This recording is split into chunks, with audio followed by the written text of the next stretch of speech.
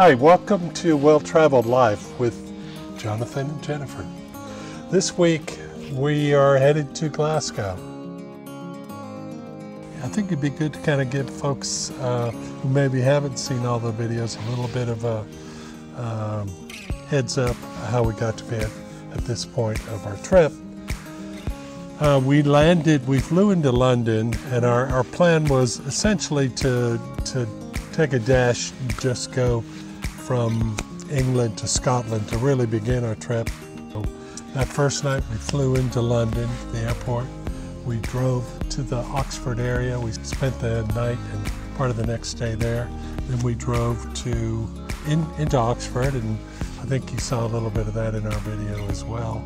Then we uh, drove up to a town in between uh, Liverpool and Manchester. Well, the big city is Warrington, but we were in Appleton Thorn, which is the small village. Okay. And that was the subject of a video that we did. The next day we left and we drove up to the Lake District in a small hamlet called uh, Chapels. And that's, uh, that's also the subject of, of, a video. We spent uh, two or three days there with John and Helen. Uh, went to a couple of magnificent pubs, did some hiking. So hope, hopefully you've watched that video because uh, it's a great one. One of the reasons that we made these stops from England is we had mapped out our course ahead of time and we were really looking at trying to reduce driving to not more to, than three to three and a half hours per day. So each of these stops gave us a manageable amount of driving time, but also allowed for us to enjoy the locations where we were going. So it was a little bit of a dash to Glasgow, but it was a slow dash. We were in some ways trying to get used to one driving a new car, a new least older car, but it was Tesla, driving on the other side of the highway, getting used to the navigation system, uh, charging the vehicle. So really, that that was kind of the plan to kind of break the days up, break up that distance that we probably could have driven in one day, but we would have been exhausted. But get used to the car do a little bit of exploring. We certainly did that. We knew we were going to be coming back to that area. Mm-hmm. We drove to Glasgow, uh, stopped at the airport, picked up a friend, Tammy, who was coming to spend the next month with us. Tammy had never been to Europe before. Drove to uh, an Airbnb uh, just south of uh, Glasgow that we were going to be staying at with David, and that'll be a separate video A magnificent house and really great house. Great, great house. And the day we're about to see in this video is uh, the three of us are going into Glasgow. We're taking uh, light rail train into Glasgow, the main station, and we're meeting up with a friend of ours, uh, Justin, who was a guide that we had actually met the year before, who had given us a tour in the Edinburgh area, St. Andrews, and a bunch of small towns, and become a great friend. And he had agreed to meet us there. He brought along a friend. Yeah, we fell in love with Christian. And so that's, that's what you're about to see. We're going to be walking around Glasgow, visiting universities, restaurants, pubs, museums, meeting his friend, taking the subway there. And we think this is a video you're going to really enjoy. I think what's special about this particular video and the day that we were there, Glasgow was host to the largest bike race in the world, and that was going on the day we were there. So you'll see some bike racing footage in here, but it meant that parts of the city were completely closed off. So some of the things that we would normally be showing you, we're showing a little bit from a distance just because they had the area completely closed off for the bike route. Jennifer and I had, have both been to Glasgow before, not together, but uh, you know, several decades ago, and we, we certainly had uh, expectations of what the city was going to be like, and maybe some basic feelings about it. We're not uh, big fans of big cities, and Glas Glasgow's a pretty good city, I guess, the largest mm -hmm. in Scotland, but we we thought of it I think in our minds as, as kind of an industrial town and kind of the business side, side of of uh, Scotland, maybe Chicago to New York, you know, Scotland's version of that, maybe. We found it uh, really delightful town. Lots of great restaurants, museums, a number of universities there, a couple of big ones, and so a lot of students, a lot of culture, vibrant nightlife, and uh, a great city to walk around in. And having the bike race there that day, uh, that really made it special as well. So Glasgow, my description would have been the gritty city. Yeah. Um, and as I was doing the planning, and I ran it by Justin, who's from Edinburgh, and Justin was like, "What? No Glasgow? It's my favorite city. You have to go to Glasgow." I was like, "Meet me there, and I'll do it." And so we're so fortunate to have gotten Justin to meet us there. So one thing about Glasgow that makes it special is the people, and the city's slogan is "People make Glasgow," because Glasgow people are salt of the earth kind of people, kind of random. You never know what's going to happen, but they're next level, lovely people. We're not city people. Driving in a city is never fun. Driving in a foreign city is less fun. And so, as Jonathan said, we took the train in to avoid parking hassles and used the underground and our feet to get around the city. enjoy our this video, and uh, we'll catch you on the backside.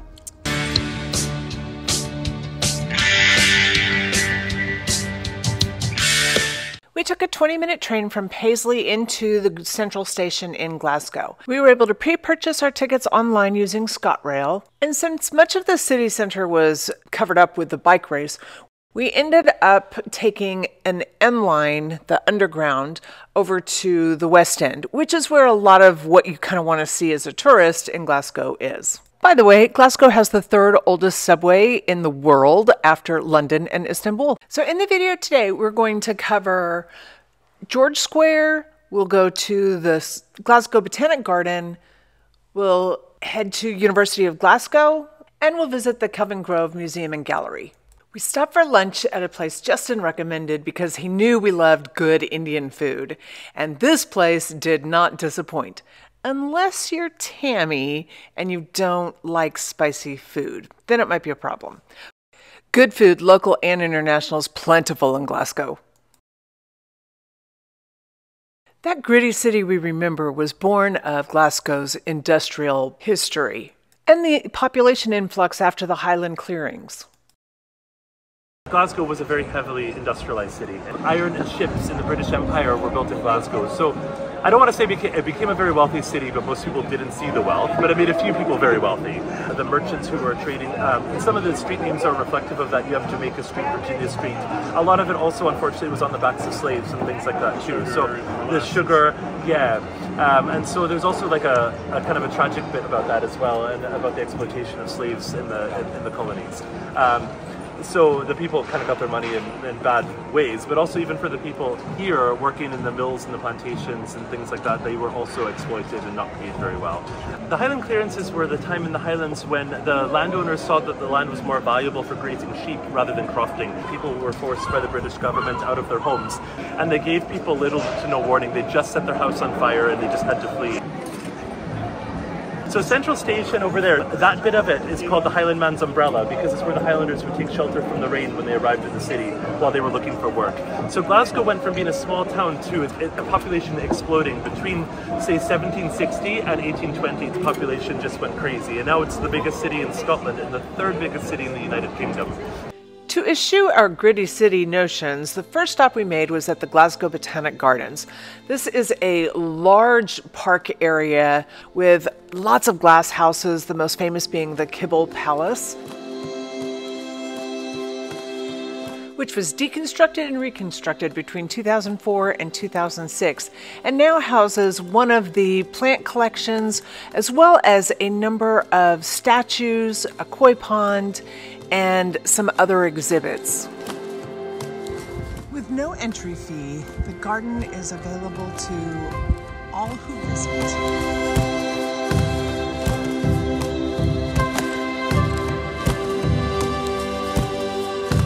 Combining botanics, structures, architecture, sculpture, and history, the Glasgow Botanic Garden is a living room for the city. Edinburgh and Glasgow are only an hour apart, but they are such different cities. It's always been a heavy industry city. Edinburgh never was industrial. Uh, Edinburgh was always for legal services, um, printing, bookbinding. They have a brewery, and there is a rivalry between the cities because the people are very different. Uh, here, it's a bit more rough and ready, but that's what makes people so friendly. Edinburgh is a bit more posh, so and refined. In the heart of the West End is another sign of Glasgow's progressiveness. A former church has been turned into Oran Mor, a really cool restaurant, private dining facility, theater, and venue area. This would be a great place for lunchtime theater, a good meal, or a special event. Between the Botanic Garden and the university, there's a special treat we couldn't help but stop through Ashton Lane, which is this quaint cobbled street full of great shops and cafes.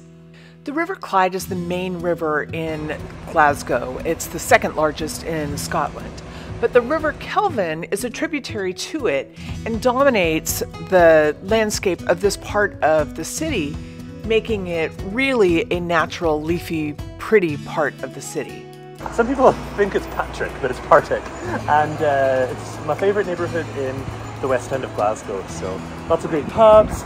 Well, there's one over there that's quite old with three judges, but great food. Um, lots of students. Uh, it's a great, great vibe here.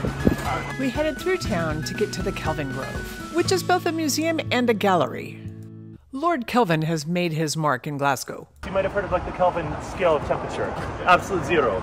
So in Glasgow, it was a centre for studying for medicine. Actually, the university, they also have a museum called the Hunterian. Um, the Glasgow coma scale is used all over the world. It kind of tells you how deep somebody's coma is. There are a lot of medical advancements, innovation, and not just medical, but scientific as well. And Lord Kelvin was a big scientific genius. The museum is located in Kelvingrove Park and is an architectural feast for the eyes. But inside, it is this incredible hodgepodge, if you will, of history, culture, science, nature. There are these tremendous exhibits, but you sometimes wonder how they're connected. And in order to get around and see what you want to see, your best bet is to use the maps with guides that show you where each of the exhibits are. Like the Botanic Garden, the museum is free to enter, there's no admission price. If you go Monday through Saturday, try to be there at 1 o'clock for the free organ recital or on Sunday at 3 o'clock take time to wander just to take in all of the different types of exhibits and kinds of art that are in the gallery in the museum. There's just such a plethora. But then you've got everything from Elvis Presley to the scientifically recreated face of Robert Burns. Check out exhibits as diverse as flying birds and flying airplanes. The Spitfire hangs above Sir Roger the Elephant, who toured the country from 1885 to 1897, pulling a small wagon from town to town as part of Bostock and Wombwell's menagerie before spending the rest of his life in the Scottish Zoo. Crofting Life and the Massacre at Glencoe are featured in famous artworks. But perhaps the most famous painting is by Salvador Dali, the surrealist, in his interpretation of Christ of St. John of the Cross. With its depiction of Christ floating on the crucifix into the darkness above a dreamlike landscape below, minus the nails, the crown of thorns, the blood, or even the expression on his face. The 1951 painting is one of the most famous and controversial modern works of religious art. Not surprisingly, Dali said that the inspiration came to him in a series of dreams. He had a cosmic dream where he saw the image in color and it represented the nucleus of the atom, which he considered to be the very unity of the universe, the Christ. In 1961, a visitor attacked the painting with a stone and ripped the canvas with his hands. It has been repaired, and you can hardly see the damage. The Scottish crown jewels are the oldest ones in Europe that are still in use. If you saw the coronation of the king recently, all, all the crown jewels they have in England are from the restoration of the monarchy, so the 1600s onwards. Oliver Cromwell uh, invaded Scotland and was looking for the crown jewels, but they were kept hidden by the minister's wife up in uh, Dunnottar near Aberdeen and kept safe from him. Uh, and then they were locked away uh, because they were um, symbolic of Scotland's sovereignty. They were locked in a trunk uh, underneath Edinburgh Castle and discovered by Sir Walter Scott uh, just in time for George IV's visit to Edinburgh, and he was presented with them. George IV's visit was such a big deal, and uh, he was the first monarch to visit Scotland in 200 years. Queen Victoria fell in love with Scotland. She bought Balmoral Castle and built a bigger one there in a Scottish baronial style because the old castle was too small for her. And this started the tradition of the monarchs visiting Scotland. And because the Queen was spending so much time in Scotland, the wealthy Victorian people started wanting to know what the fuss was all about. And it also led to a renaissance of romanticizing historic figures like Mary Queen of Scots, um, William Wallace, and Bonnie Prince Charlie. Uh, and so those people became kind of talked about and, and, and literary figures again, um, especially by Sir Walter Scott. William Wallace's kilt wearing warriors might be a myth the kilts, not the warriors. The first of four international Glasgow exhibitions took place in 1888, and it was actually the opening of Kelvingrove Park. It was a showcase of Glasgow, uh, Victorian Glasgow, the progress here, the Industrial Revolution, the shipbuilding, all of this, kind of show off Glasgow to the world. They had a number of exhibitions, one in 1901, one in 1911, and this one in 1888, and this is Queen Victoria here surrounded by 253 people. But her personal life really got in, in the way. Um, her first marriage to the Dauphin of France was only a year long, and then he died, and then she married Lord Darnley, and their marriage was unhappy, so she had a number of lovers, and then her husband was found dead, and a lot of people accused her of, of really plotting this murder, but um, yeah, and then also she was the wrong religion. She was Catholic during the Protestant Reformation, so there's a lot of things that really counted against her. Um, and she was imprisoned in Scotland for a year in a castle in Lochleven, and her supporters helped her escape, and she went to England because Elizabeth was her cousin, the Queen of England, and then she was imprisoned for about 19 years there, and then beheaded in a plot that was kind of fabricated to implicate her of wanting to take the throne of Elizabeth. So she's very, very tragic, um, but the people that liked her saw her as a very good queen who listened to her people and really cared, and very educated, very sporty, loved to play tennis. Um, quite an amazing woman, really. The Floating Heads exhibit is 50 individually designed heads, each with a different expression showing a different kind of an emotion that seem to float in space. They were created by Sophie Cave, who made them to signify the diversity of human experience and the complexity of our emotions.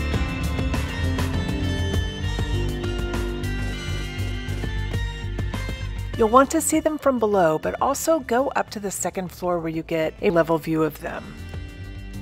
The Kelvingrove is a marvel. Do not miss this. So, according to the legend of the Sligachan Old Bridge, there was a warrior queen from Skye, and she went into a battle with a giant from Ireland. And the queen's daughter was really upset that her queenly mother was fighting this Irish giant. And so she cried into the river and she asked the fairies for help. Because in Iceland they have the elves, and in Ireland they have the leprechauns, in Scotland we have the fairies, are the, the creatures that help us. The fairies heard the princess and they caused smoke to come from the river, and it blinded the eyes of the giant. And when the smoke cleared, um, the princess invited him into the home. Hospitality is very important in the Gaelic culture, and so she had um, she had food, and, and he became a guest. So then he couldn't go on fighting the mother. And now they say the water remained enchanted by the fairies. So if you put your face into the water under the bridge for seven seconds and let it dry off naturally, the fairies will bless you with eternal beauty. Hmm, I'd say those fairies are doing a good job. St. George's Tron Church sits on the corner of Nelson Mandela Place. During the apartheid in South Africa, the South African consulate was located here. The name of the square was changed so that when people wrote letters to the consulate, they would have to make note of Nelson Mandela and his plight in prison. Glasgow people really care about social justice, and that's just one example of it. Is naming the street after Nelson Mandela when he was in prison to show their solidarity and to be against the apartheid. Nearby is George Square and the municipal chambers, flanked with monuments to Scotland's heroes, including Robert Burns, James Watt, Sir Robert Peel, and Sir Walter Scott, as well as Queen Victoria. Christian studied pastry making in Lisbon, so it only makes sense that we stopped here for traditional wild Scottish blueberry natas. It seems easy, it's very difficult to do that. You just have to push harder, otherwise you are going to broke, broke. Oh my god. I know. Really? I know. I know. That crust is baked entirely in butter. there is nothing but buttery, crispy, flaky, beautiful in this. As we headed to the university, Justin has a second home in Italy, and a friend from Italy is actually a doctoral student working at the university and came to meet us and help with our tour there. Founded in 1450, Glasgow University is the fourth oldest university in the English speaking world. It is a public university known for its School of Medicine and School of Law, although you can study multiple things there.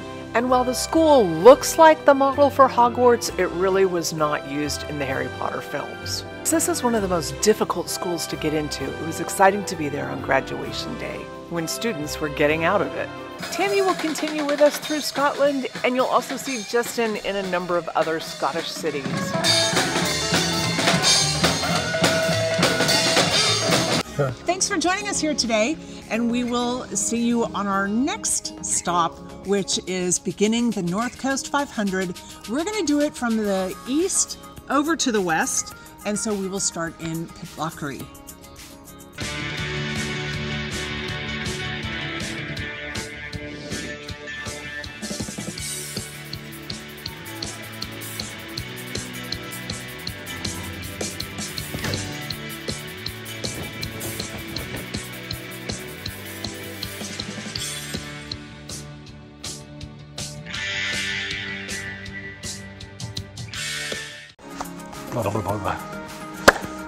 Not put that in the video. We've only been here 20 minutes and he's already going after the English.